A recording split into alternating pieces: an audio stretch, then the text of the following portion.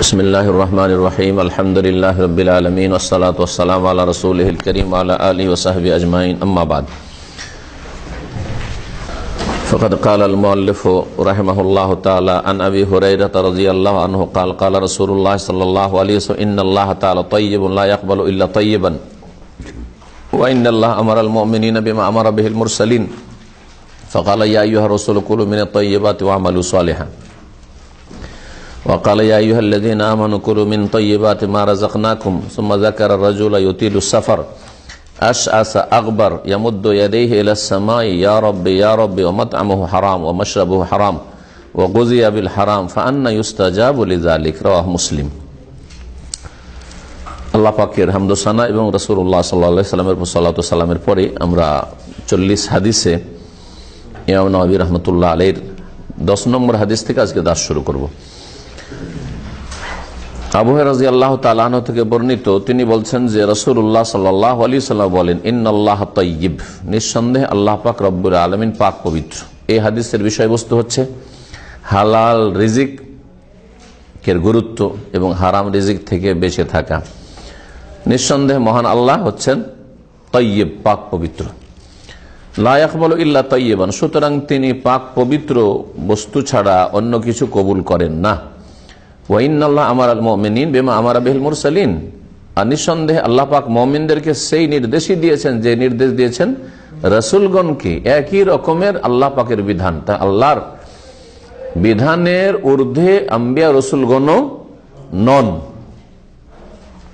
আল্লাহ পাকের যে শরীয়তের দায় দায়িত্ব রয়েছে হ্যাঁ তার ঊর্ধ্বে রসুলগণ মুরসালিন। নবী তোদের কথা, নবীর ওপর রসুল। রসুল গণনা, ঠিক না? কিন্তু সুফি পীর হইতে পারলে কি হয়ে যায়? ফানাফিল্লা হয়ে নামাজ রোজা মাফ হয়ে যায়, হারাম, হালাল হয়ে যায়। ফরজ অজেব নাকি ওদের ওপর থেকে স্থগিত হয়ে যায় বা কি যেন নেমে যায়। এত বড় কুফরিয়া কথা। এটি ইমান ভঙ্গকারী বিষয়। এরপরে কোনো মানুষের কাফের হওয়াতে কোনো সন্দেহ নেই। কেউ যদি এই রকম কাফের কুফরিতে সন্দেহ করে, ফাহুয়া কাফেরুন। এই ফটো আপন জায়গায় বিনা বাড়াবাড়িতে ঠিক। এটাই ওলামাই হকদের, কোরআন সোনা আলেমদের সালাফে সালেহিনের ফতুয়া। কারণ কাফেরকে কাফের না মনে করা কুফরি। কাফেরকে কাফের না মনে করা কুফরি।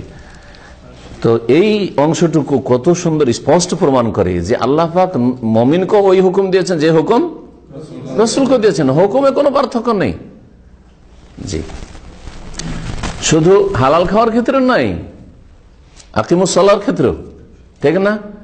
অবধ রব্বাকুমের ক্ষেত্রে কৌলুল আইলাহার ক্ষেত্রেও দেখ না সব ক্ষেত্রে। ফাঁকালা, তাই আল্লাহ পাক বলছেন, ইয়া রসুল, হে রসুলগণ, কলু মিনা তৈয়ে বা তোমরা পাক পবিত্র বস্তু হতে খাও। ও আমালুস আলেহা এবং তোমরা সৎ কাজ করো। পাক পবিত্র বস্তু হালাল ভক্ষণ করে নেক আমল করো।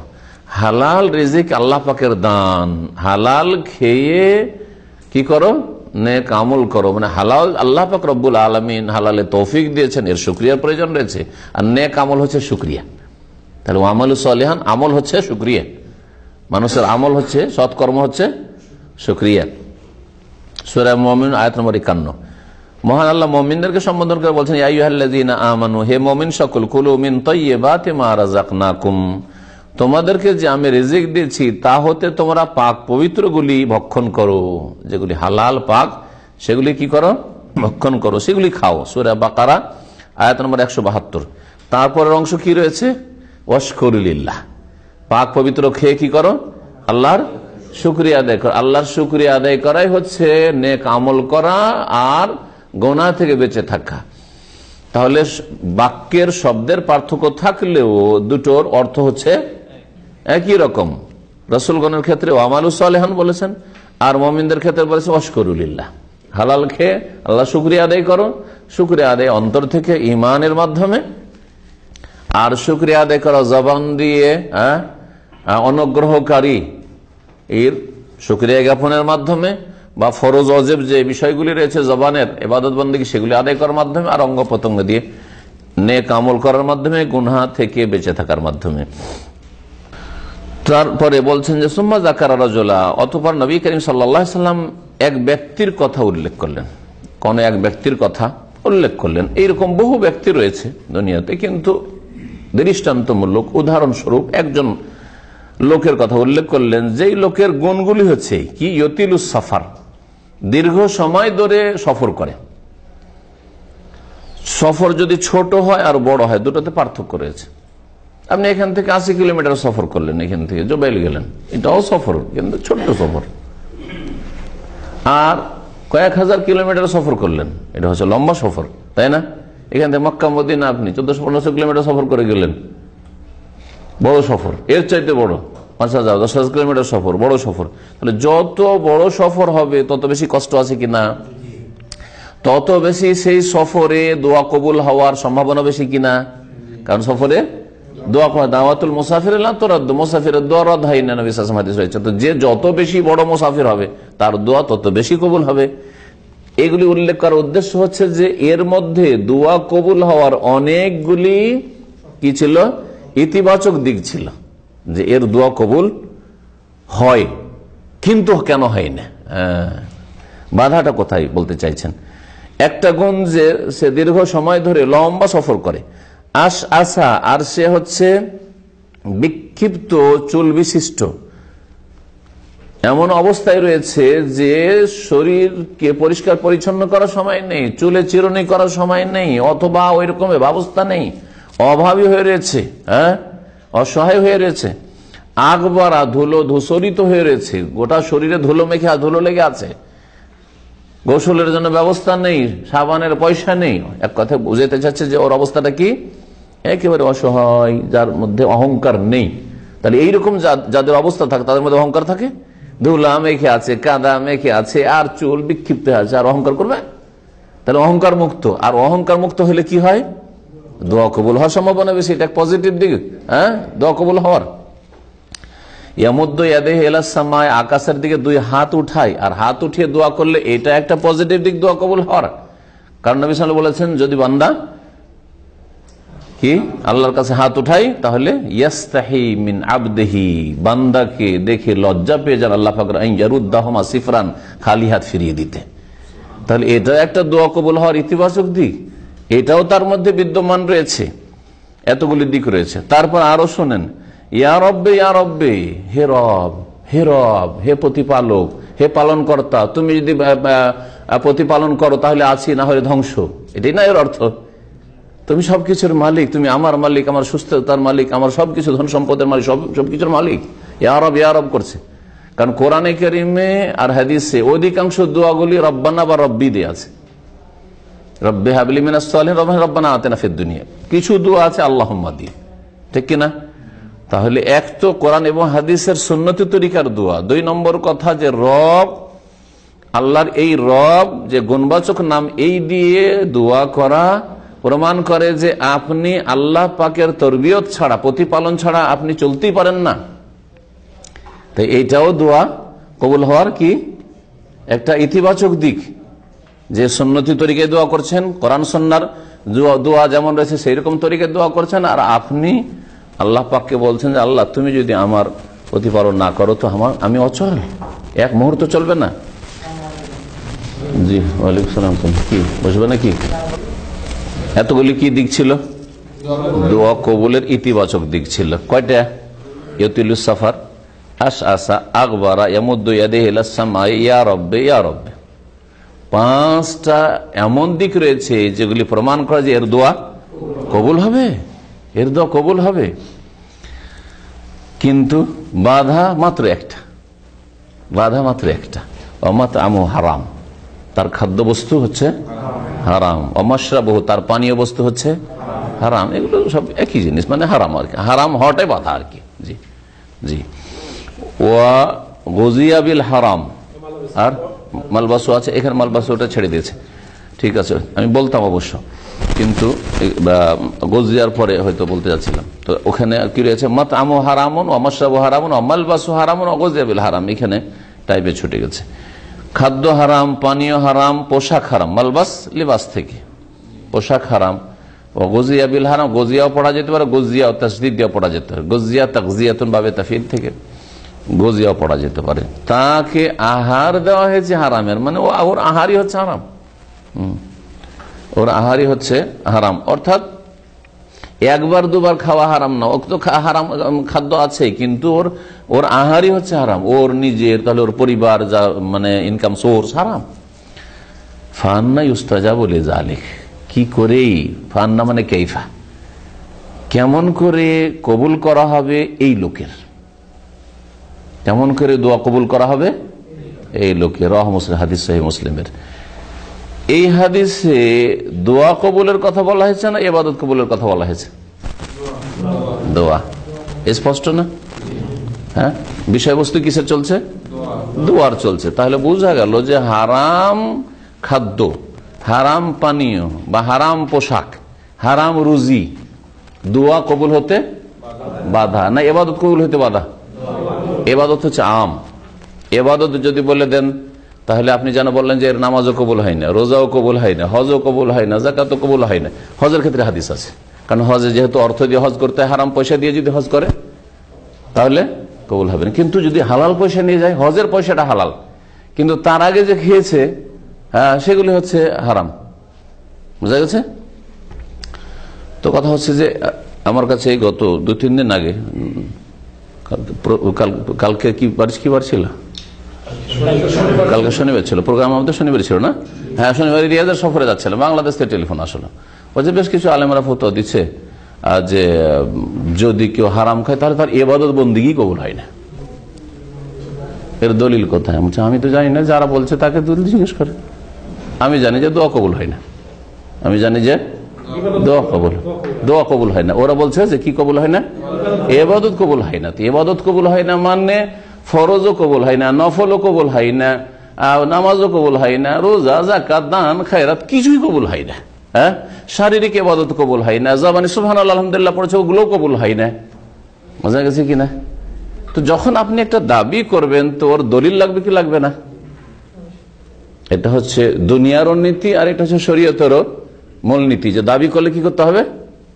দলিল পেশ করতে হবে। যদি জমিটা আমার দলিল নিয়ে এসে বলবেন আপনাকে বিচারপতি তো দলিল নিয়ে এসো যে তোমার জমিটা বোঝা গেছে কিনা? তো শরীয়তে যখন আপনি বলে যে আপনার এবাদতই কবুল হয় না একটা হারাম খাওয়া লোককে বলবেন তখন ও- বলবে যে আমাকে দলিল দেন যে আমার কোন এবাদত কবুল হয় না। কোথায় দলিল? তো খুঁজে পাওয়া যায় না।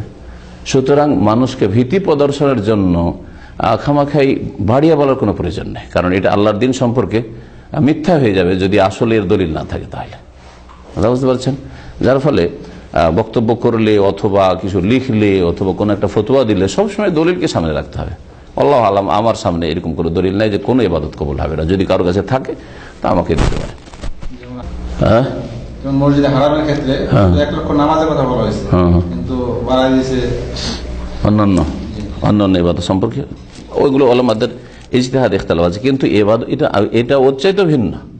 একটা লোকের জিন্দগির কোনো এবাদত কবুল হবে না। এত বড় একটা ফতোয়া দেওয়া। অথচ হাদিস হচ্ছে খাস। হাদিস হচ্ছে খাস। কথা বুঝতে পেরেছেন তো খাস দিয়ে আপনি ব্যাপক হারে ওর কোন এবাদতবন্দি কবুল হয় না। এই ফতোয়া দেওয়া মোটেই ঠিক নাই হ্যাঁ? দুয়ে এবাদতের মূল মানে মানে সব এবাদত দোয়া নাকি? রোজাটা এবাদত দুয়াটা এবাদতের মূল মানে দুয়া একটা গুরুত্বপূর্ণ এবাদত এবাদা, আর জয়ীফ হাদিস তিরমিদের এবাদা। দোয়া হচ্ছে মগজ, কিন্তু এবাদা আমাদের লোকেরা বেশি জানে। ওইটা সনদে আর দোয়াটাই হচ্ছে এবাদত। মানে দোয়াটা হচ্ছে আসল এবাদত। যদি আমার পাঁচটা ছেলে আছে, পাঁচটা মেয়ে আছে, চারটা ছেলে বলি, এটাই হচ্ছে আমার ছেলে। তার মানে কি এগুলো আমার ছেলে না? গেছে? তো দোয়া হচ্ছে এখানে দোয়া হল এবাদত মানে দোয়াই হচ্ছে গুরুত্বপূর্ণ এবাদত বা আসল এবাদত। কিন্তু সবগুলি এবাদত দোয়া কি করে বলবে? দান খায়রাতটাও দোয়া- দোয়া। হ্যাঁ? রোজা রাখাটাও দোয়া। তসবি পড়াটাও দোয়া। তসবি পড়াটা দোয়া বলা যেতে পারে, এই অর্থে যে দোয়ায় মাসালা আর দোয়ায় হ্যাঁ দুই রকম দোয়া রয়েছে। হ্যাঁ দোয়ায় মাসালা, একটি হচ্ছে যাচ্চামূলক দোয়া, আর একটা হচ্ছে আল্লাহ ফাকরাবুল আলমিনের গুণগানমূলক দোয়া। জি জি, প্রশংসামূলক দোয়া। কিন্তু অন্যান্য এবাদত বন্দীগীর ক্ষেত্রে সুতরাং দুয়া এবাদত মানে এবাদত কবুল হয় না এখানে তো দলিল না এটা। ভুল কথা এটা। কিসে নামাজ? হ্যাঁ, নামাজের মধ্যে কেয়াম আছে। কেয়ামটা তো দোয়া না। রুকু আছে রুকু তো দোয়া নেই। রুকুতে দুটা দিক আছে তসবি। তসবিটা না হয় দোয়া ধরবা। দোয়ায় এবাদা। হ্যাঁ তারপরে আপনি যখন দোয়া করছেন তখন দোয়া। আল্লাহ ফিরলি বলছেন এটা দোয়ায় মাস আল্লাহ আল্লাহর কাছে চাইছেন। বোঝা গেছে কিনা কিন্তু আপনার সেজদা, আপনার বৈঠক, সালাম ফেরে এগুলো এবাদত না আর রফেল এবাদত না। তো এগুলো কবুল হয় না দলিল না লাগবে। এবাদত কবুল হওয়ার জন্য তাহলে শর্ত, তাহলে যা পড়ে রেখেছেন তাহলে ভুল, যে এখলাস, তৌহিদ, আর কি? সন্ন্যতের অনুসরণ। এবাদত কবুল হওয়ার জন্য তৌহিদ, আর তৌহিদের মধ্যে যদি এখলাস ঢুকিয়ে দেন বা এখলাস আর তৌহিদ দুটো একটা করে দেন, তাহলে একটা আর আরেকটা হচ্ছে মোতাবাদ নবী সাল্লামের সন্ন্যতের অনুসরণ। আর যারা কেউ কেউ তিনটা বলেছে তিনটা বলেছে কি করে? একটা হচ্ছে তৌহিদ বলেছে আর একটা এখলাস বলেছে। আর দুটোকে আলাদা আলাদা বুঝাইতেছে তৌহিদ মানে আপনার জিন্দগিতে আকিদা আমলে যেন শির্ক না থাকে। আর এখলাস মানে এই এবাদতটি হ্যাঁ, আল্লাহ ছাড়া দুনিয়ার কোনো গরজে যেন না হয়। সিরকি জিন্দগি না আপনি তহিদের জিন্দগি কিন্তু আপনার এবাদতটাতে আপনার খুলুসিয়াত নেই। একটু ভেজাল ঢুকে আছে। বোঝা গেছে? এটাকে এই, এইভাবে তারা বলছে যে একটা হচ্ছে তৌহিদ আর একটা হচ্ছে এখলাস বা ইসলাম ইমান মানে মুসলিম হওয়া আর মুসলিম হওয়ার পর এখলাস বলছে যে এবাদত কবুল হয় যেন প্রথম মুসলিম হইতে হবে। আর মুসলিম হইলে যে এবাদত কবুল হবে তা মুসলিম মানে মমিন, তৌহিদবাদী। আর তৌহিদবাদী হচ্ছে মমিন মুসলিম। তৌহিদবাদী হওয়ার পরে কাজটা যখন শুরু করতে যাচ্ছে ওই মুসলিম, তখন ওকে ওই কাজে এখলাস থাকতে হবে। যেটা কিসের জন্য করছি? এই নামাজটা আল্লাহর জন্য করছি। বা নামাজটা আমি লম্বা করে যে পড়ছি, আল্লাহর জন্য করছি। নামাজটা লম্বা করছে, ওই সময় দেখছে যে কেউ আমার মুরব্বী দেখছে তো একটু সুন্দর করে পড়ি। তো এখলাস নেই, কিন্তু ইসলাম তো আছে ওর। বড় শিখ তো করেনি। বোঝা গেছে? তো ব্যাপক অর্থে তৌহিদ, এখলাস একই জিনিস। এই জন্য এবাদত কবুল হওয়ার দুটো শর্ত বলাই যথেষ্ট। কিছু কিছু কেদাবে তিনটে শর্ত বলেছে, ওই জন্য বললাম আর কি। যাই কথা লম্বা হয়ে যাচ্ছে। তো এবাদত বন্দী কবুল হওয়ার জন্য ওই দুইটা শর্ত। কেউ তো বলেন যে হালাল খাওয়া শর্ত। তাহলে আপনি যখন বলেন এবার হারাম খেলে এবাদত কবুল হয় না, তার মানে এই শর্ত লাগায় তো এবাদত কবুল হওয়ার জন্য তৌহিদ শর্ত, তৌহিদ ইখলাস শর্ত আর সন্ন্যতের অনুসরণ শর্ত আর হালাল খাওয়া শর্ত, এ কথা বলতে হবে। কোথায়? কোন আলামাকে আমরা বলেনি? সৌদি আরবে যে আকিদের কিতাব রয়েছে, কোথাও আপনি পাবেন না খুঁজে। হাদিস সহি মুসলিমের। দেখেন, শেখ হোসেন রহমতুল্লাহ তাই বলছেন, শেষখানে তিনি তার সারহার আত্মাহাজিরুল মিন আকলিল হারাম হারাম খাওয়া থেকে কঠোরভাবে সতর্ক করা হয়েছে। লিয়ান্না আকলাল হারামে মিন আসবাবে রদ্দি দুয়া, কারণ হারাম খাওয়া দুয়া হ্যাঁ খণ্ডন হওয়া, রদ হওয়ার একটি কারণ। মিন আসবাবে রদ্দি আর দুয়া এ কথা বলে মিন আসবাবে রদ্দিল এবাদা বুঝতে পারছেন? জি হ্যাঁ। ওয়াইন তফারাত আসবাবুল এজাবা যদিও কবুল হওয়ার অনেকগুলি কারণ থাকে। কবুল হওয়ার কারণ মেলা, পাঁচটি কারণ বললাম, তাই না? আর বাধা শুধু একটি হারাম খাওয়া, দোয়া কবুল হয়। একটি বাধাতে পাঁচটা ভালো গুণকে নষ্ট করে দিল। কোনো কাজে আসলো না। তাহলে কত গুরুত্বপূর্ণ হালাল খাওয়ার বিষয়টি। নবী সাসম বলছেন, ফান্না ইউস্তাজা বলে জালিক চলেন, আগের হাদিস দেখা যাক। আনাবি মোহাম্মদ ইবনুল হাসান ইবনে আলী ইবনে আবি তালিবিন সিবতে রসুলিল্লাহ সাল্লাহ আলী রাইহানাতেহি রদিয়াল্লাহ আনহুমা কাল হাফেজ তুমি রসুলিল্লাহ সাল্লাহ আলী সাল্লাম দামা ইয়ারিবুকা ইলা মালা ইয়ারিবুক রাহ তিরমিজি অন্নাসবা কাল তিরমিজি হাদিসুন হাসান সাহি আবু মোহাম্মদ উপনাম। হাসান বিন আলী ইবনে আবি তালিব। আলী রাজি আল্লাহ তালানহর বড় ছেলে হাসান রাজি আল্লাহ আনহু মা থেকে বর্ণিত, সিবতে রসুল্লাহ সাল্লাম, যিনি রসুল্লাহ সাল্লামের নাতি, সিবতুন মানে নাতি হ্যাঁ? ইবনুল বিন্ত আর হাফিদুন মানে হচ্ছে পোতা। গোপালগঞ্জের ভাষায় বুঝছেন, বাকিরা তো বলছেন পোতা কোন ভাষা বলল রে ভাই? তাই না? পোতা। শুনে গোপালগঞ্জ ভাইদের কাছে আর না, রাজশাহী চাপায়ের লোক কেউ থাকলে বলবেন। এখানে নাই মনে হয়। রাজশাহী চাপায়ের লোক চাটনি করার জন্য মাঝে মাঝে খুঁজতে হবে কোথাও। ভর্তা খাওয়ার জন্য। তো রসুল্লাহ সাল্লাহ আলী সাল্লামের নাতি হ্যাঁ মেয়ের ছেলেকে কি বলা হয়? ছেলে মেয়েকে নাতি, নাতনি। আর ছেলের ছেলে দেরকে হাফিদ বলা হয়, আরবিতে হাফিদ বলা হয়। তো বাংলাতেও কিছু কিছু অঞ্চল, অঞ্চলে পোতা বলা হয়, পতিন বলা হয় হ্যাঁ। কিন্তু অধিকাংশ বাংলাদেশের এলাকায় ছেলের ঘরের নাতি আর মেয়ের ঘরের নাতি। জি হ্যাঁ রাইহানাতেহি রাজি আল্লাহ আনহমা এবং রসুল্লাহ সাল্লাহ আলি সাল্লামের ফুল হ্যাঁ সুগন্ধিময় ফুল রেহানা এমন ফুল যাতে সুগন্ধি থাকে। নবী সাল্লা সাল্লাম বলেছিলেন যে, হোমা, এই দুই হাসান হোসেন আমার সুগন্ধিময় ফুল হ্যাঁ? এ বলেছিলেন। ওইখান থেকে এই উপাধিটি উল্লেখ করেছেন ইমাম নবী রহমতুল্লাহ আলী কালা, তিনি বলেন হাফেজ তুমি রসুল্লাহ সাল্লাম। আমি রসুল্লাহ সাল্লাম থেকে মুখস্থ করেছি। অথচ হাসান রাজি আল্লাহ তালার বয়স নবী সাল্লাম ইন্তকালের সময় কত ছিল? দ্বিতীয় হিজড়িতে জন্ম। তাহলে আট নয় বছর বয়স ইন্তকাল। শেষ জামানাতেও যদি শুনে থাকেন, তো আট নয় বছরের ছেলে, আট বছরের ছেলে। জি হ্যাঁ। মুখস্থ রেখেছেন, আট বছরের ছেলে রসুল্লাহ সাল্লাম থেকে শুনে। নানার কাছ থেকে শুনে। দামা তুমি ছেড়ে দাও ওই বস্তুটি বা ওই সব বস্তু যা তোমাকে সন্দেহে ফেলে দেয়। এলামা লা ইয়ারি- ইয়ারিবক। এলা মালা ইয়ারিবক। আরবি যারা বুঝেন, এখানে রয়েছে জাহেবান, এলা মালা ইয়ারিবক। সেই কাজটি করো তো, যাতে তোমার কোনো সন্দেহ নেই। অর্থাৎ যাতে তোমার সন্দেহ আছে, সেটাকে ছেড়ে দাও, আর যাতে তোমার সন্দেহ নাই, সেদিকে চলে যাও বা সেটাকে গ্রহণ করো। দুটো ব্যবসা আমার সামনে আসলো। একটাতে সন্দেহ আছে আর একটা সন্দেহ নেই। কি করবেন? সন্দেহজনক, সেটাকে ছেড়ে দেন। আর যেটাতে সন্দেহ নাই, সেটা করেন আপনি। ব্যবসার উদাহরণ দিলাম হ্যাঁ? এক- একটি জিনিসের ক্ষেত্রে দুই রকম ফতুয়া। একজন বলছে হালাল, আরেকজন বলছে হারাম।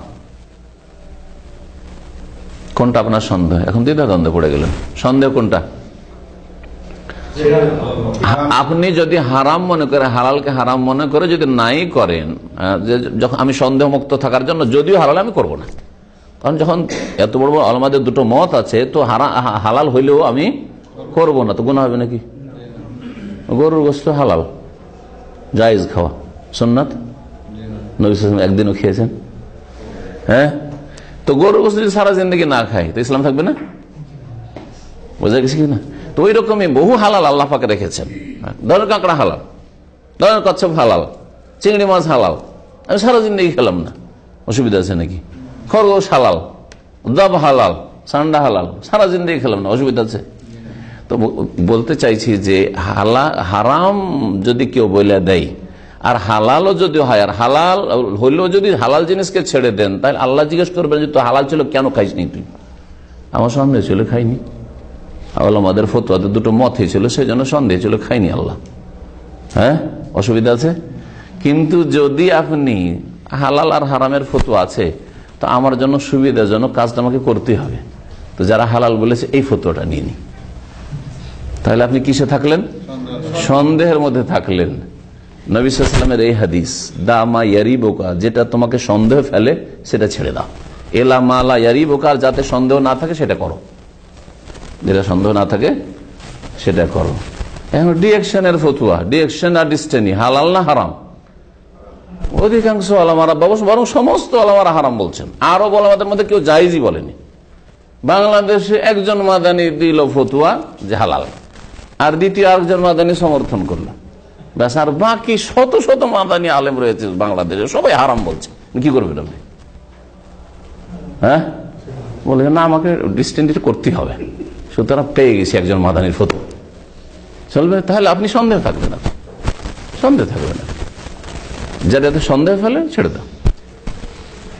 নবী করিম সাল্লামের এই হাসানের সাথে, হোসেনের সাথে এরকম ঘটনাই ঘটেছিল। এটা খেজুর পড়েছিল, কুড়িয়ে মুখে দিয়ে নিছে। ঘটনা সহি বোখারিতে আছে। নবী করিম সাল্লাম কে কে? কি মানে ছি ছি ছি, আমরা যে বলি বাচ্চাদেরকে, ছি ছি ছি। ফেলে দাও ফেলে দাও। ফেলে তো দিলেন ছোট বাচ্চা, তিন বছর, চার বছরের, কিন্তু কাঁদতে শুরু করলেন। এটা খিদে মুখে দিয়েছে, মিষ্টি লেগেছে সুবহান আল্লাহ নবী করিম সাল্লাম ইন্না আলো মোহাম্মদ আমরা হচ্ছি মোহাম্মদের বংশ, তোমরা মোহাম্মদের বংশ। লা তাহিল্লানা সাদাকা, আমাদের জন্য সাদকা জাকাত হালাল নয়। ও আকশা আন্তাকুন হাজিহি মিনাস সাদাকা। আর আমাকে ভয় লাগল যে খেজুরটা সাদকা জাকাতের না হয়, আর আমার নাতির পেটে হারাম না চলে যায় একটা খেজুরের দানা। সন্দেহ শুধু। পড়ে পেয়েছে খেজুর। এমন না যে জাকাতের বাইতুল মাল থেকে উঠে খেয়েছে। বোঝা গেছে? তাহলে কোথাও সন্দেহ জিনিস থেকে বাঁচিয়েছেন রসুল্লাহ সাল্লাম তো এই হাদিস যে ওখান থেকে হতে পারে যে ওই সময় বলেছেন অথবা তারপরে বলেছেন সাল্লাহ আলি সাল্লাম যে কোনো সময়। জীবনের প্রতিটি ক্ষেত্রে এই হাদিসকে যদি আপনি বাস্তবায়ন করেন, তো হারাম আপনাকে স্পর্শই করতে পারবে না। যেখানে সন্দেহ ছেড়ে দেন। যেখানে সন্দেহ হচ্ছে ছেড়ে দেন। জি রাস্তাতে আমরা যাচ্ছি। আর আমাদের কিছু পরিচিত ভাইয়েরা রয়েছে, দিনী ভাই রয়েছে, কফির দোকানে। আর কিছু আমাদের দিনী ভাইয়েরা গেলে ওখানে কফি খাবে। আর মনে করে যে এটা আমাদের জন্য জায়েজ ফ্রি খাওয়াটা। এই কফিটা কোথা থেকে আসছে? কোনদিন চিন্তা করেছেন? কোথেকে আসছে? হ্যাঁ? বাইরে থেকে। যে আপনাকে কাউন্টারে কফি দিচ্ছে আপনার দিনী ভাই, ও কি দোকানটার মালিক? কে মালিক? দোকানের মালিক কফিল, ঠিক কিনা? এখন এখানে সন্দেহ যে হতে পারে আমার দিনী ভাই দিনদার এই পয়সাটা ভরে দিল। যে এটা সামান্যতম সম্ভাবনা, বেশি সম্ভাবনা তো নয়, সামান্যতম সম্ভাবনা। আছে কিছু লোকের ব্যাপারে, যেমন আমি এক বেকারিতে বেশ কিছুদিন জানি, কিন্তু আমাদের দিনী ভাইয়েরা রয়েছেন। তো আমি যদি কোনো কিছু চাই যে এটা দাও, তো অবশ্যই পয়সা দিই। তারপর বলছে যে না, আমি পয়সা নেব না। আমি বললাম যে এটা হইতে পারে না, আপনার না এটা। আপনার না। তো বলছে যে, না, আমি আপনার কসম করে বলছি যে, এই পয়সা এই যে আমি রাখব এখানে। তা আমি বিশ্বাস করলাম, যদি কসম করে বলে। ঠিক আছে, এবার বুঝতে পারছেন? কিন্তু যদি না, এটা আমার জানা নাই যে ভরবে ভরবে না, আমি নেব কেন? পয়সা দিয়ে নেব। বোঝা গেছে, আপনার হাতে যদি এই ক্ষমতা থাকে যে, আপনি আমার জন্য ডিসকাউন্ট করবেন, এটা মালিকের পক্ষে করেন। যে, তোমার আপন জন হলে তুমি ডিসকাউন্ট করতে পারো, কিন্তু তুমি ফ্রি দিয়ে দিবে পরের জিনিস। খাইয়ে দিবে। আর আমাদেরকে ভালো লাগছে আমাদের দিনী ভাইয়েরা কিছু রাস্তায় আছেন, আর গেলেই আমাদেরকে কফি খাওয়ায়। বুঝা গেছে? আর গেলেই ব্রেড দিয়ে দেয়। আরে ভাই যাইজ নাই। আমাদের যে ব্রেডগুলো দিনী ভাইরে দিয়ে পাঠান একটা বেকারি থেকে, সেগুলি ওদের একটা ইয়ে আছে, মেয়াদ আছে যে আজ পর্যন্ত বিক্রি করতে হবে, তারপরে না। তারপরে দুই দিন আর টাইম থাকে কিন্তু। তিন দুই দিন তিন দিন টাইম থাকে। সেই সময়টা তাদের জন্য দেওয়ার বৈধতা রয়েছে। তখন দেয় আমি ইসলামিক সেন্টারে নিয়ে আসার অনুমতি দিই। এটা ভালো করে জেনে রাখি এমনি না। হ্যাঁ, হ্যাঁ তো ওটা বলছি যে মেয়াদ বাঁধা আছে। মেয়াদের আগে দেওয়া যায় নাই? এটা ওদের বলেছে যে মেয়াদ কোনো কিছু দেবেন না। জি। হ্যাঁ হুকুম আছে জি। হ্যাঁ তো এবার বুঝতে পারছেন যে কত সন্দেহতে আমরা থাকি তাহলে আপনি এরকম খাবেন কেন? কোন একটা দোকান পাড়ে নিজের দোকান নয়। কেন খাবেন আপনি? জি। এই হাদিসের অধ্যায়টি অত্যন্ত বিস্তর অধ্যায় জীবনে। জীবনের প্রতিটি ক্ষেত্রে। সন্দেহ ছেড়ে দিয়ে যাতে সন্দেহ নেই সেটা গ্রহণ করো। হালাল হারামের ক্ষেত্রেও, এবাদতের ক্ষেত্রেও। সন্দেহ হচ্ছে, তিন পড়লাম না চার পড়লাম? এটা এখানে এক্সাম্পল দেন। সন্দেহ হচ্ছে, তিন পড়লাম না চার পড়লাম রাকাত? তাহলে কোনটা কোনটাতে সন্দেহ নেই?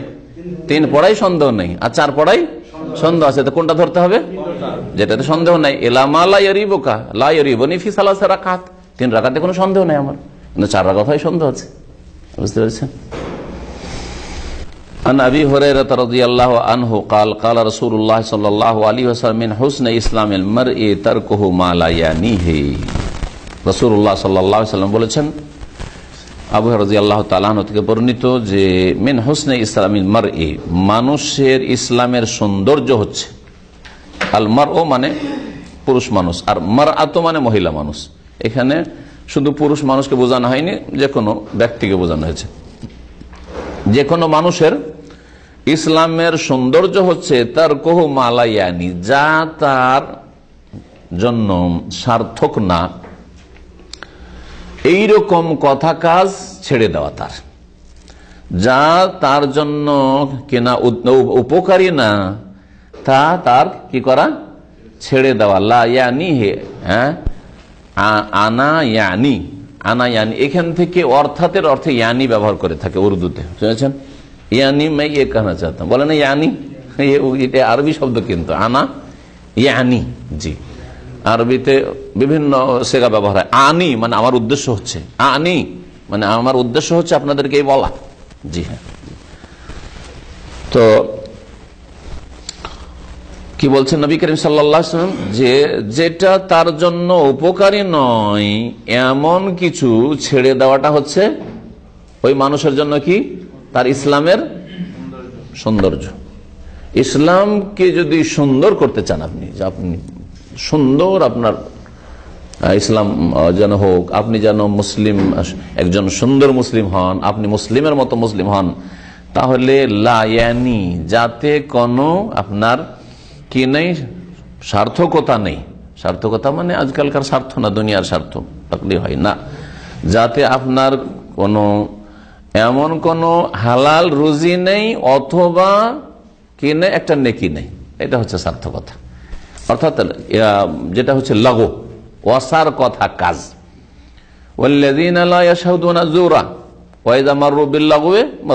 এই যে আসার কথা কাজ, ছেড়ে দিয়ে কেটে পড়ে। আর কি বলেছেন? গুণ বলতে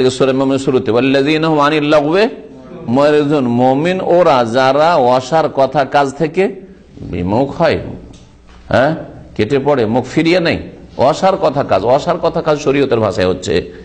খুব সহজভাবে বোঝানোর জন্য বললাম, যাতে হালাল একটা পয়সা রুজি নেই দুনিয়ার, আর নেকির ক্ষেত্রে একটা নেকিও নেই। এটা হচ্ছে অসার কাজ। তাই এইরকম কাজ ছেড়ে দেওয়া হচ্ছে ইসলামের সুন্দর তাহলে অনেক মোবাহ জায়েজ কাজ জায়েজ কাজ। কিন্তু এতে আমার একটা নেকিও নেই, আর একটা হালাল রিজিকও নাই। তো ফালতু কেন? বাজারে, ধরেন ফ্রি আছেন, আট ঘণ্টা ডিউটি ফ্রি আছেন। যাই একটু শিকড় দিয়ে ঘুরে আসি, মার্কেটে ঘুরে আসি। বলেন, এতে কোনো লাভ আছে? হালাল রুজির জন্যও নাই আর একটা নেকির জন্য না। যদি যায় একটু দিনই মুসলিম ভাইদেরকে একটু দিনে দাওয়াত দিয়ে আসব বা মুসলিমদেরকে একটু দাওয়াত দিয়ে আসব, একটু ভালো, একটু কাজ করে আসব, তাহলে সেটা আলাদা কথা। না না দিনের একটা কল্যাণের কাজ করলেন, না দুনিয়ার একটা কল্যাণের কাজ করে, ফালতু ফালতু। তাহলে এ হচ্ছে লায়ানি কাজ। এটা হচ্ছে ইসলামের সৌন্দর্য। হাদিস হাসান, ইমাম তিরমিজ রহমতুল্লাহ আলী বর্ণনা করেছেন অন্য অন্যরা বর্ণনা করেছেন। কেউ যদি অনার্থক কাজে নিজের সময় লাগায়, তাহলে তার ইসলামটা অত সুন্দর না। অনার্থক কাজে।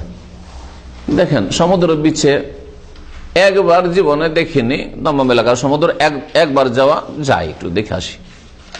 বলতে পারেন যে এটা একবার গেলাম, কিন্তু প্রতিদিন একবার করে চক্কর দেবো, বা প্রতি সপ্তাহে আমি কয়েকবার করে যাব হ্যাঁ? যখন তখন যাব আমি। কি লাভ আছে? কোনো লাভ আছে? একই জিনিস দেখার জন্য। বাহারান ব্রিজ, জীবনে দেখিনি, সারা দুনিয়ায় ফেমাস তাই একবার দেখেন, কিন্তু বারবার, যখনই সাথী সংগীত চলে সাথী সঙ্গী পেলে কেউ বাইরে একটা গেস্ট আসলে একটা সিট পেলেই হইল, যাই দিকে আসি। হ্যাঁ? তো লায়নি কাজ লায়নি কাজ। তো লায়ানির মানে এইরকম অসার কথা কাজের অনেক উদাহরণ রয়েছে আপনার জীবনে। আপনি এক কথায় এমন কথা বলবেন না, এমন কাজ করবেন না, যাতে আপনার দুনিয়া আখেরাতের কোনো কল্যাণ নেই। আমরিবুল মারুফ, ভালো কাজের হুকুম দেওয়া, অন্যায় কাজে বাধা দেওয়া। হ্যাঁ সার না অসার? হ্যাঁ সার। তাদের নাকি রয়েছে। বড় অনেক সময় আপনার ফার্জে আইন, আর না হলে ফার্জে কেফায়া কমপক্ষে, জি। এটাও একটা ইসলামের দিক, বরং এটা একটা জেহাদ, জি। শেখ বলছেন যে আল্লাহ রবিল মারফাইনাহিমনকার মিম্মায়ানিল ইনসান। ভালো কাজের উপদেশ দাও, অন্যায় কাজে বাধা দাও, এটা একজন মুসলিমের জন্য, মানুষের জন্য সার হ্যাঁ? হ্যাঁ ভালো উদ্দেশ্য, সৎ উদ্দেশ্য। কারণ আল্লাহ পাক কারিম হুকুম করে বল তাকুমিন উম্মা তোমাদের মধ্যে কমপক্ষে একটি দল হইতে হবে। অন্য আয়তে কুনতুম খায়রা উম্মা তোমরা সকলেই, তাহলে সকলকেও বলা হয়েছে, আর বিশেষ করে একটা দলকে এই কাজে নিয়োজিত থাকতেই হবে। ফার্জে আইন একটাতে বলা হয়েছে যে একটা দলের করলে বাকিরা মাফ পাবে। আর যদি সবাই এতে অংশ নিতে পারো, তাহলে এটা সবচেয়ে ভালো। এই জন্য কুন্তুম খাইরা উম্মাতিন, সকলের কথা বলে দিয়ে ওখরে জাতিলেন না আছে তামরুন বিল মারুফ ওয়া তানহা আনিল মুনকার বলেছেন। আর আর আয়াতে বলেছেন ওয়াল তাকুম মিনকুম উম্মাহ। জি। কোন ব্যক্তিকে যদি অন্যায় কাজে দেখি, তাহলে তাকে বললেন, ভাই, এটা জায়েজ নাই হ্যাঁ? এটা জায়েজ নয় যদি বলা হয়, এটা আপনার করা ঠিক নয়। তো উত্তর আজকাল কি আসে? হ্যাঁ? আপনার বলার কি আছে? হ্যাঁ? আপনার বলার কি আছে? তার মানে আপনাকে বলছে যে, এইটা আপনার লায়ানি কাজ। ফালতু কাজ ফালতু কাজ করছেন আপনি, ফালতু কথা বলছেন। আমাকে কেন বলবেন আপনি হ্যাঁ? তো শেখ বলছেন, না এ- ওর এই কথা বলা জায়েজ নাই তারা। ইয়াকুল, ওই ব্যক্তি ব্যক্তি অন্যায় কাজ করছে, তার জন্য কথা বলার কোনো অধিকার নেই যে এটা আপনার বলার কি জি। আর যদি কেউ বলে, তো তার কাছে এটা গ্রহণযোগ্য না। তার কাছ থেকে এটা গ্রহণযোগ্য নয়। ছেলে মেয়েদের ক্ষেত্রে ছেলে মেয়েদের তরবিয়তের ক্ষেত্রে ভালো কাজের জন্য উৎসাহিত করবেন অন্যায় কাজে বাধা দেবেন এটা আপনার জন্য সার্থক। এটা আপনার হচ্ছে সার কাজ, অসার কাজ না। যে আপনি ফালতু কাজ করেন, এটা আপনার দায়িত্ব। সুতরাং এগুলো ইয়ানি, লায়ানি নয় এগুলো। ইয়ানি আর লায়ানি ভালো করে মনে রাখবেন হ্যাঁ? জি হ্যাঁ। মালিক আল্লাহ খাদেম আসাল্লাম মেনু হাত্তা ইহিব মা মুসলিম আবু হামজা মালিক খাদিমের। তিনি বলছেন তোমাদেরকে অতক্ষণ সত্যিকার মমিন হতে পারবে না। হাত্তা ইহিব আলী আখি যতক্ষণ পর্যন্ত নিজের ভাইয়ের জন্য না ভালোবাসবে এমন কিছু যা নিজের জন্য ভালোবাসে। অত্যন্ত ব্যাপক হাদিস, এটাও আখলাক চরিত্রের ক্ষেত্রে। আপনি যা আপনার জন্য ভালোবাসেন, তা অন্যের জন্য যতক্ষণ অত, অতটা পরিমাণে ভালো না বাঁচতে পারবেন, ততক্ষণ আপনি কি হতে পারবেন না? সত্যিকার অর্থে মমিন। মানে কাফের না মানে কামেল মমিন। এখানে বোঝা হয়েছে যে মমিনের মতো মমিন হতে পারবেন না আপনি। তার মানে অসম্পূর্ণ আপনি নাকেসল ইমান দুর্বল ইমানের মুসলিম একজন আপনি। যদি আপনি আপনার জন্য কিছু ভালোবাসেন, অন্যের জন্য আরেকটু কিছু ভালোবাসেন। আমাদের অনেক ভাইরাই বলে যে খাওয়া দাওয়ার ক্ষেত্রে এক প্লেটে কয়েকজন বসে আর বসার পরে ওদিক থেকে টেনে টেন আগে সামনে দিয়ে সাইডে করে নেয়। এই এই গত সপ্তাহে আমি খবর পেয়েছি। তো এইরকম যারা করে, সাধারণত নতুন লোকেরা করে, যারা পুরাতন আমাদের ইসলাম সেন্টার আসার লোক, তাদের কাছে এইরকম আমরা কল্পনা করি না যে এইরকম হবে। উচিত নয় মোটেই। যদি আপনার দিকে না থাকে, তো অন্য ভাইদের উচিত হবে। আমার দিকে চার পাঁচটা পিস একত্রিত হয়েছে, আর এর দিকে একটুও নেই তাহলে ওর দিকে একটু হ্যাঁ ভাগ বন্টন করে এগিয়ে দিই। এটাও তাদের করণীয়। না হলে তাদের এটা বেয়াদবি। হ্যাঁ? আর তা তাদের উপর এই হাদিস ফিট হবে। নিজের জন্য তো ভালোবাসে। আমার আমার দিকে যখন পাঁচটা পড়েছে, কাজ হয়ে গেছে আমার। হ্যাঁ? আর এর দিকে যে বাচ্চারা দিয়ে একটাও নাই তো, তাহলে তো তুমি নিজের জন্য পাঁচটা ভালোবাসো, ওর জন্য একটা ভালোবাসো না? তখন মমিন হইলে তুমি? ঠিক তেমনই আপনি টেনে টেনে নিয়ে নেবেন। এটা আরও আরও ছোট কাজ।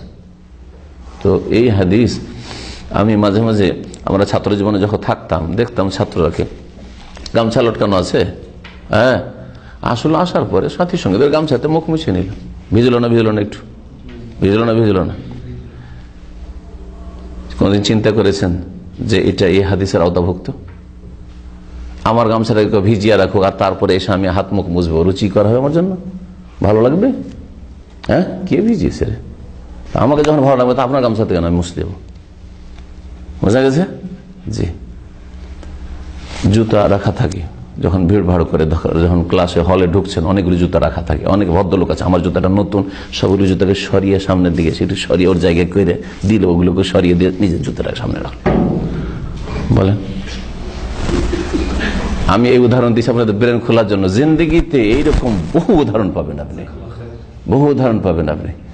ভাগযোগে আপনি মাছ কিনেছেন বা সবজি কিনেছেন। আপনাকে কিনতে বলেছি। কেনার পরে ভালো। অর্ধেক করলেন, ঠিক আছে। ওজনে পাঁচ কিলো পাঁচ কিলো করলেন, দশ কিলোকে। কিন্তু ভালোগুলো, বড় বড় যেগুলো হ্যাঁ ও পিস ওগুলো আপনি নিয়ে নিলেন, আর বাকিটা দিয়ে দিলেন আপনাকে হাড্ডি একটু বেশি করে দিলেন আমার দিকে, আর আপনি বাকি হাড্ডি কমওয়ালা গোস্তরা নিয়ে গেলেন। ওজন ঠিকই আছে পাঁচ কিলো। বলেন আমি তো ওজন ঠিক করেছি। তো যেটা ভাই নিজের জন্য ভালোবাসেন, ওটা মমিনের জন্য ভালোবাসেন। বোঝা গেছে? কোন ক্ষেত্রে এই হাদিস নিয়ে যাবেন? জান্নাতে যাওয়া। নিজের জন্য ভালোবাসেন কিনা একজন মুসলিম? তাহলে আরেকজন মুসলিমের জান্নাতে যাওয়া ভালোবাসবেন আর জাহান্নামে যাওয়া? তাহলে ওকে উদ্ধার করার চেষ্টা করবেন না করবেন না? তাহলে উদ্ধার করতে ওকে দাওয়াত দেবেন না দেবেন না? যা আদা খাবি সাত পা, জাহান্নামে যা। চলবে? না, দাওয়াত দিতে হবে। আমি আমার জন্য জান্নাতে যাওয়া ভালোবাসি, তা আমার আদম সন্তান যে অন্যান্যরা রয়েছে, মুসলিম ভাই হোক অথবা অমুসলিম হোক হ্যাঁ ওরা মুসলিম না হলে আমি ভাই বলছি না। কিন্তু তারাও তো মানুষ, তারা তো ওই আদমেরই সন্তান, আমিও আদমের সন্তান, তো তাদেরকে জাহান্নাম থেকে রক্ষা করার চেষ্টা করব। তাহলে অতক্ষণ আপনি মমিন হতে পারেন, যতক্ষণ দাওয়ার কাজে অংশ না নেবেন। কামিল মমিন হতে পারে যতক্ষণ পর্যন্ত আপনি জাহান্নাম থেকে নিজেকে বাঁচাতে চান, অন্যকে জাহান্নাম থেকে বাঁচাবার চেষ্টা না করবেন। ছেলেকে বলছেন, তোর পরীক্ষা? আর তুই রাতে অনেক জেগেছিস রাতে একটা দুটাতে শুয়েছিস, আজকে ফজরে থাক উঠ- উঠাতে হবে না ছেলেটাকে। ছেলেটা থাক, কি করলেন আপনি? নিজে ফজর নামাজ পড়তে গেলে মুসল্লি সাহেব কিন্তু ছেলেটা পরীক্ষার দিন থাক। আজকে না পরে যখন নিজে থেকে উঠবে ক্লাসে যাওয়ার আগে স্কুল যাওয়ার আগে মাদ্রাসা যাওয়ার আগে নামাজটা পড়ে নেবে। আপনি নিজের জন্য জান্নাতে যাওয়া ভালোবাসলেন, ছেলেটার জন্য জান্নাতে যাওয়া ভালোবাসলেন আপনি? ওর জন্য শরীরের চাহিদা পূরণ করা ভালোবাসেন কিন্তু জান্নাতে যাওয়া তো ভালোবাসলেন না আপনি। এইরকম হাদিস বলা হারাজ, আপনি উদাহরণ দেন। জি, আপনার ব্রেনকে খোলেন আর উদাহরণ দেন। এই হাদিসগুলো অত্যন্ত ব্যাপক অর্থপূর্ণ। পুরো জিন্দগি সংশোধন করে দিবে আপনার। পুরো জিন্দগি সংশোধন করে দিবে। জি রাহুল বুখারি ও মুসলিম। আব্দুল্লাহ আল্লাহ তালন থেকে তিনি কালা ইমরি ইম মুসলিম। কোন মুসলিমের রক্ত হালাল নয়, ইল্লা সালাসিন। তিনটি কারণের কোন একটি কারণ ছাড়া। তিনটি কারণের কোন একটি কারণ ছাড়া কোন মুসলিমের রক্ত হালাল নয়। প্রথম কারণ হচ্ছে আসাইয়েব জানি। জেনাকারী বিবাহিত যদি হয় সাইয়েব মানে বিবাহিত যদি ব্যবিচারকারী বা ব্যবিচারকারিনী হয়। অন্নাফস বিন্নাফসে আর যদি হ্যাঁ কোন ব্যক্তির হত্যার বিনিময়ে হত্যা হয়, কাউকে যদি হত্যা করে থাকে, তাহলে হত্যার বদলে হত্যা করা যাবে। প্রাণের বদলে প্রাণ। ও তারে কলিল জামাতে, ভুল করেছে। অত্তারে কলি দেনি আল মোফারে কলি জামাতে হবে। হাদিস কি আছে? আর যেই ব্যক্তি তার দিনকে পরিত্যাগ করেছে আল মোফারে কলিল জামাতে আর দল থেকে বিচ্ছিন্ন হয়ে গেছে। অর্থাৎ মোরতাদ ব্যক্তি, যে তার দিনকে ছেড়ে দিয়েছে মানে ইসলাম ছেড়ে দিয়ে কুফরি অবলম্বন করেছে, সে নাস্তিক হয়ে হোক, অথবা সে অন্য কোনো ধর্ম গ্রহণ করে হোক হ্যাঁ বা সব ধর্মকে অস্বীকার করে, এক কথা ইসলাম থেকে মোরতাদ যে হয়ে গেছে তারে কলিদি নেই আল মোফারে কলিল জামা মানে মুসলিম দল থেকে সে ছিটকে গেছে, মুসলিম দল থেকে বেরিয়ে গেছে, তার রক্ত হালাল। এই তিন শ্রেণির লোকে রক্ত হালাল। এছাড়া পৃথিবীতে কারও রক্ত হালাল নয়। যদি মুসলিম হয় তাহলে। কাফেরদের ক্ষেত্রে বলব যে কাফের যদি হারবি হয়, তাহলে তার রক্ত হালাল। বুঝছেন? এখানে কিন্তু মুসলিমের আলোচনা চলছে। দামো ইমরিন, মুসলিম, ভালো করে হাদিস বুঝেন। কোন মুসলিমের রক্ত হালাল নাই। মুসলিম যদি থাকে তাহলে, যতক্ষণ পর্যন্ত বিবাহিত, জেনাকারী না হবে। বিবাহিত জেনাকারীকে শাস্তি দেবে অথবা কেসাসের বাস্তবায়ন, হত্যার বদলে হত্যা করা, এর বাস্তবায়ন করবে, অথবা মোরতাদের শাস্তি দেবে, এটা কে করবে? শাসকের উপর ফরজ। এটা কার উপর ফরজ? শাসকের উপর ফরজ। কোন আলে মুফতি হ্যাঁ? অথবা সামাজিক কোন নেতা, সমাজপতি কারও জন্য জায়েজ নয়, হারাম। এবার বোঝা গেছে? তো গণপিটনি দিয়ে পকেট মারকে মেরে ফেলে দেওয়া, চোরকে মেরে ফেলে দেওয়া হ্যাঁ এইরকমই বিভিন্ন অপরাধীকে শাস্তি দেওয়া বা মেরে ফেলে দেওয়া। এগুলি কি জায়েজ? হ্যাঁ? চোখ উঠে না। কত রকমের অপরাধ হতে পারে, কিন্তু আমি ধরলাম মেরে ফেলে দেওয়ার বিষয়টা। এগুলি জায়েজ? জায়েজ নয়। এগুলি সরকারের জন্য জায়েজ নয় পর্যন্ত। চোরকে খুন করা সরকারের জন্য জায়েজ নয়। এবারে? কারও চোরে আল্লাহ বলছে, হাত কাটো তো, তুমি বেশি করবে কেন? বলা তাদিন আল্লাহ আল্লাহ মহতাদিন সীমা লঙ্ঘন করুন আল্লাহ সীমা লঙ্ঘনকারীকে ভালোবাসেন না। হ্যাঁ? গণপিটুনি দেওয়া কোন শরীয়তে জায়জ নাই চরম অপরাধ, সামাজিক অপরাধ আমাদের দেশে। জি হ্যাঁ। বিভিন্ন অপরাধ, সামাজিক অপরাধগুলির ক্ষেত্রে গণপিটুনি দিয়ে বা এই সমাজের বিচার সালিসে যে এই যে শাস্তিগুলো দেয়, বিচার সালিস করে এই শাস্তি দেওয়া, এরকম শাস্তি দেওয়া জায়জ নাই এই অধিকারটা কে দিয়েছে? এরা তো সরকার ঘরে আসামি তো। জায়জ না এগুলো করা।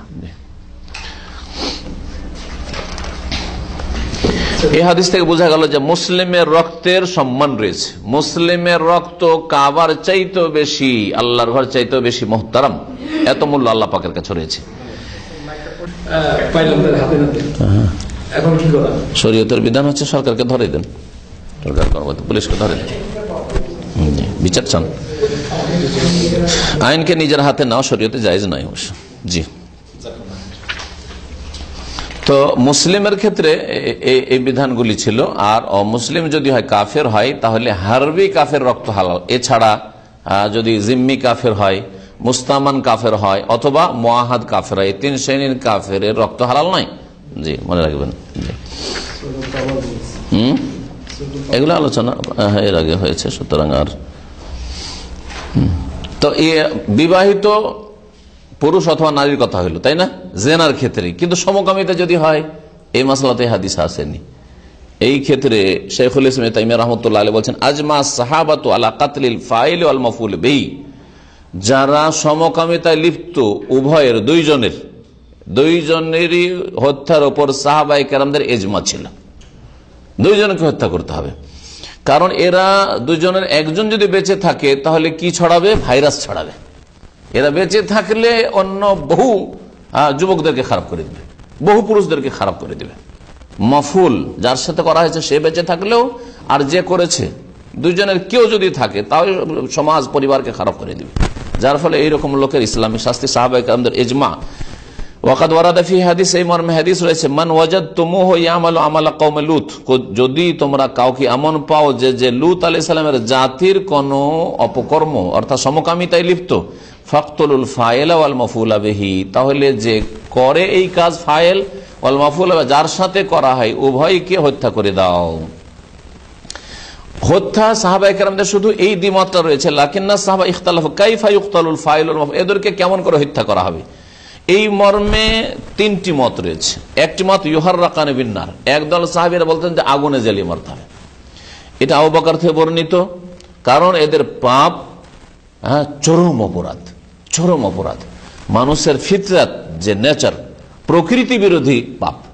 প্রকৃতি হচ্ছে যে যৌন চাহিদা পুরুষের পুরুষের চাহিদা মহিলার দিকে, মহিলার চাহিদা পুরুষের দিকে হবে। তো জেনায় লিপ্ত হইতে পারে। জেনা নাগার পুরুষ পুরুষের দিকে চাহিদা। আর যারা এই ব্যাধিতে লিপ্ত এই পাপে, নিজের স্ত্রীর কাছেও যায় না। আমি এমন এমন লোক জানি, বিয়ে করে আছে স্ত্রীর কাছে যায় না হবিসগুলো স্ত্রীর কাছে যায় না, ওই দাড়ি বেরোয়নি, এরকম ছেলেকে নিয়ে ঘুরে বেড়াচ্ছে। তো বলছেন যে সাহাব একটি মত হচ্ছে কি? যে আগুন দিয়ে জ্বালাইতে হবে। জি। দ্বিতীয় মত হচ্ছে, ইউরজামান কামা ইউরজাম সাইওজানি তাদেরকে পাথর দিয়ে সংসার করতে হবে, যেমন বিবাহিত জেনাকারী জেনাকারিনীকে পাথর মেরে সংসার করা হয়। তৃতীয় মত হচ্ছে ইউস আদো বেহমা এলা আলা ফিল বালাদ। শহরের সবচেয়ে উঁচু জায়গায় চড়াইতে হবে। যদি পাহাড় থাকে, পাহাড়ের উপরে নিয়ে যেতে হবে হ্যাঁ? অথবা কোনো টাওয়ারের উপরে নিয়ে যেতে হবে। পাহাড় যদি না থাকে কোনো শহর, কোনো দেশে, কোনো শহরে। সুম্মায়ুর মায় তারপরে দুইজনকে মাটিতে ফেলে দিতে হবে। ইউত বাহান হেজার, তারপরে পাথর মারতে হবে। থেকে কেন? তাদের দলিল যে আল্লাহর গজব যে নেমেছিল, লুত আলাইসালামের জাতির উপর এইরকম করে। কি করা হয়েছিল? তাই জমিনটাকে উপরে উঠানো হয়েছিল। ওখানে আষাঢ় দেওয়া হয়েছিল আর পাথর বর্ষানো হয়েছিল তাদের উপর। তো পাথর বর্ষাইতে হবে আর উপরে উঠিয়ে উঠিয়ে নিয়ে উঁচা জায়গা থেকে কি করতে হবে? ফেলে মারতে হবে। এগুলি হচ্ছে সাহাবাইকে আমাদের মত। কিন্তু কোনো ইখতলাফ নেই যে ছেড়ে দিতে হবে কিছু মারধর করে অথবা তোবা করিয়ে ইত্যাদি, অথবা ওদেরকে গ্রাম থেকে বা দেশ থেকে তাড়িয়ে দিতে হবে। নির্বাসিত করে দিতে হবে, এরকম কোনো ফতোয়া নেই।